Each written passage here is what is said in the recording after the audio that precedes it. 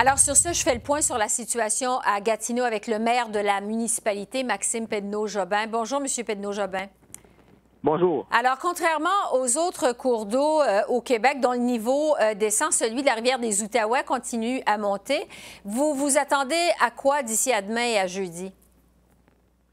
Bien, ça pourrait être plusieurs centimètres de hausse encore. On a, euh, on a, on entend de la pluie demain. À l'ouest de la ville, on a déjà atteint depuis quelques jours les, les, les sommets de 2017. On va les atteindre partout à l'Est euh, quand ce n'est pas déjà fait dans les prochains jours.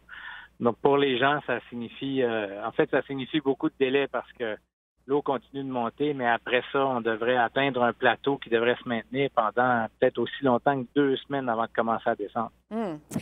Il y a déjà 1600 euh, personnes qui sont sinistrées dans votre municipalité. Est-ce que ce nombre pourrait grossir au cours des prochains jours? Euh, certainement.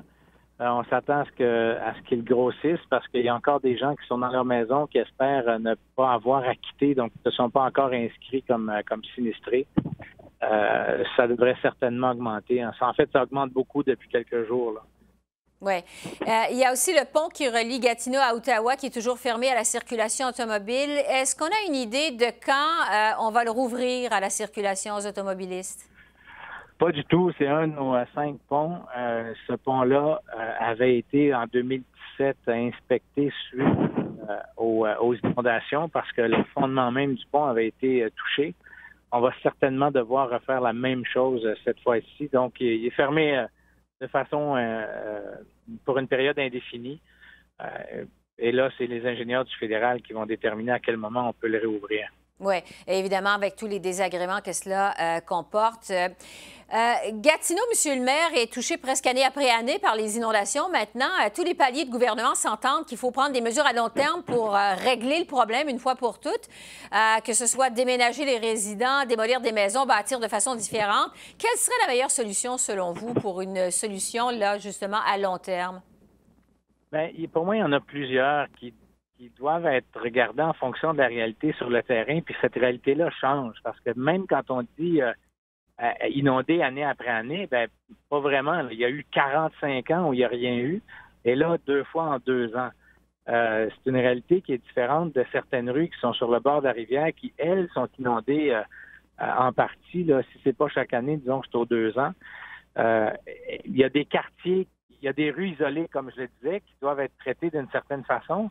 Il y a aussi des quartiers qui ont deux siècles d'existence, comme Pointe-Gatineau, où là, la solution est, plus complexe parce que c'est pas demandé à cinq personnes de déménager. Là. Il y a huit ou neuf cents personnes qui habitent dans le cœur du quartier, puis c'est un quartier qu'au total en a 5000. Euh, donc, si on demande à certaines personnes ou on exige le départ de tout le monde, par exemple, ça va coûter des montants extraordinaires. Peut-être que la solution, c'est plus de regarder vers des solutions technologiques par maison, ou pour le quartier, que ce soit des digues ou autres mécanismes. Euh, pour moi, vraiment, l'important, c'est de partir de la réalité vécue par les gens, la réalité sur le terrain, la réalité urbaine. Dans le cas de Pointe-Gatineau, c'est, on est au cœur de la ville. C'est pas, euh, pas, pas un coin qui a été construit dans la rivière. Le quartier existait avant même que le concept de zone inondable soit inventé. Le premier ministre Trudeau a dit aujourd'hui euh, que le gouvernement fédéral pourrait être un partenaire dans les solutions à mettre en place. Euh, vous, euh, vous vous attendez à quoi d'Ottawa, du gouvernement fédéral? Qu'est-ce qui vous aiderait vraiment? Bien, vous savez, les villes gèrent 60% des infrastructures publiques, on reçoit 8% des taxes et impôts. Donc, financièrement, là, on n'a on même pas ce qu'il faut pour entretenir nos infrastructures actuelles comme il faut. Là.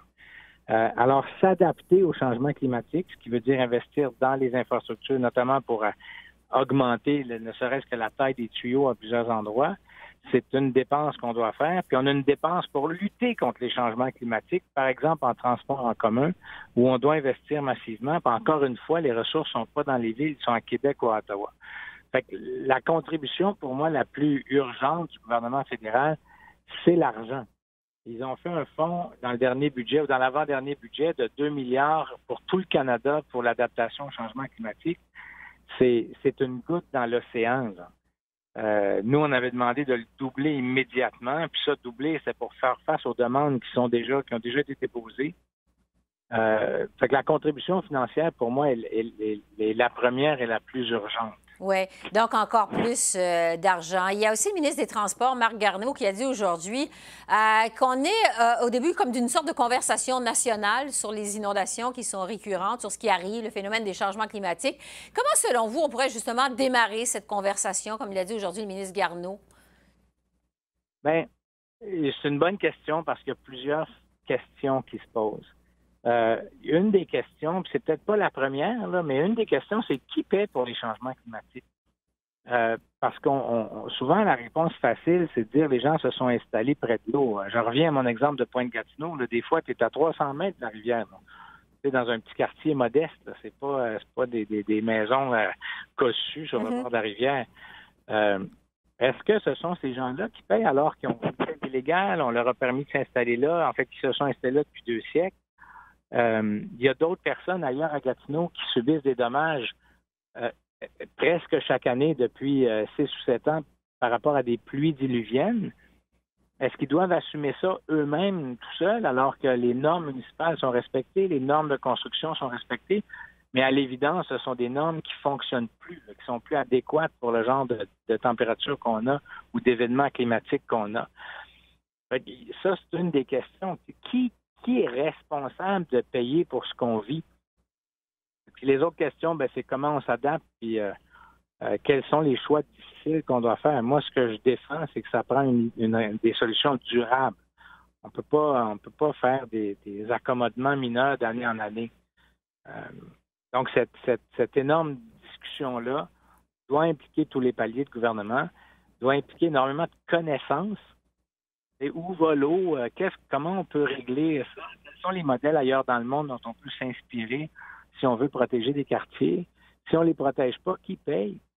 si on dit aux gens de s'en aller, est-ce qu'on leur demande de perdre l'investissement d'une vie euh, euh, en payant seulement une partie du prix de la maison? Mm-hmm. Alors, alors que je le répète, on leur a permis d'être là. là. C'est pas comme si ces gens-là avaient triché. en vertu de quoi on, leur dirait qu'ils doivent payer le gros de la facture?